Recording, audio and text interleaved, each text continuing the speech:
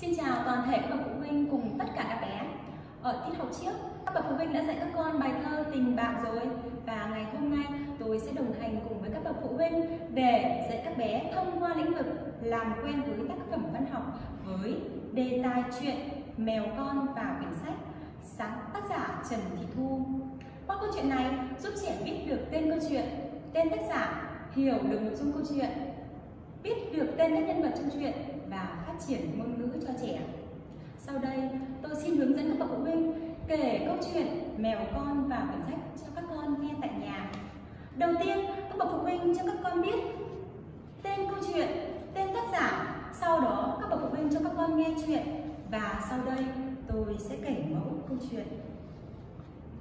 Chuyện Mèo con và quyển sách Mèo con ngồi bên một hốc cây trên tay chú là một quyển sách tập tô rất mới, rất đẹp.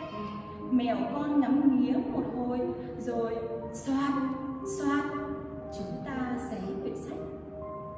Thấy vậy, bác cả trống đang kiếm mồi gần đó, liền nói, cháu làm gì thế? Dạ, cháu sẽ sách lại các đồ chơi đấy hả Mèo con trả lời. Rồi mèo con hớn hở ngắm những con vật vương ấp của mình cả chống nghiêm mặt nhắc.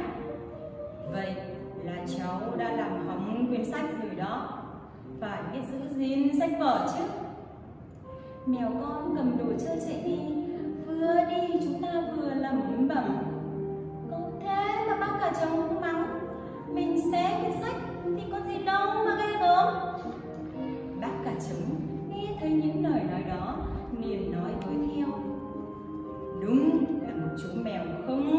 lời.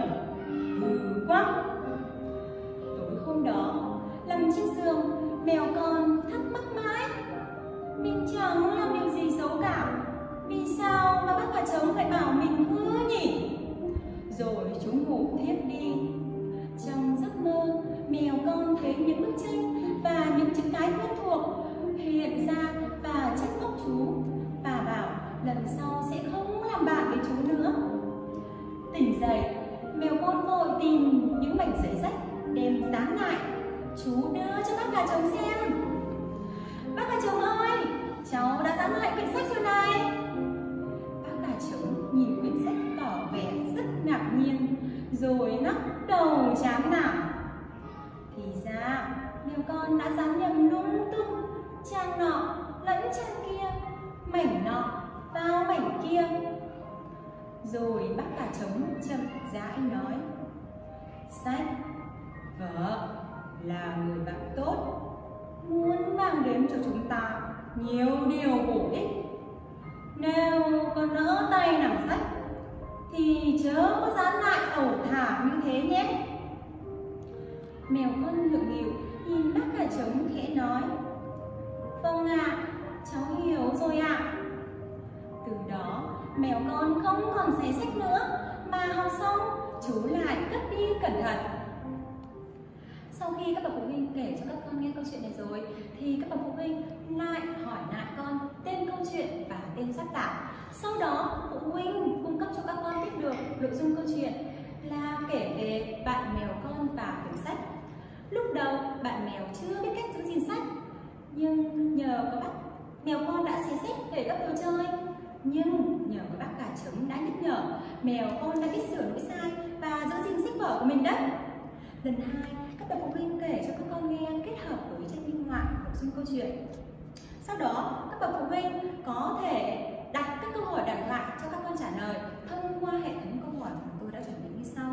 Đó là, các bậc phụ huynh hỏi trẻ tên câu chuyện tên tác giả.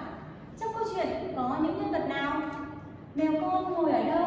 Và mèo con đã làm gì với quyển sách của mình? Mèo con xé sách để làm gì?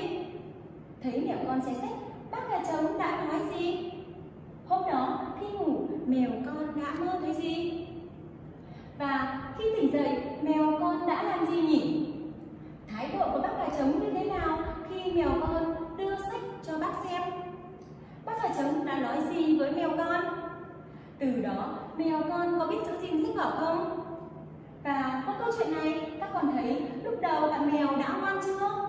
Và chúng mình có học theo tính cách của bạn mèo không? Vì sao? Sau khi trẻ đã trả lời các câu hỏi rồi thì phụ huynh cung cấp cho các con biết được sách, vở mang đến cho chúng ta rất nhiều điều bổ ích. Vì vậy, chúng mình luôn giữ gìn sách vở sạch sẽ, cẩn thận. Khi đọc xong phải biết xếp sách vở ngăn nắp đúng nơi quy định.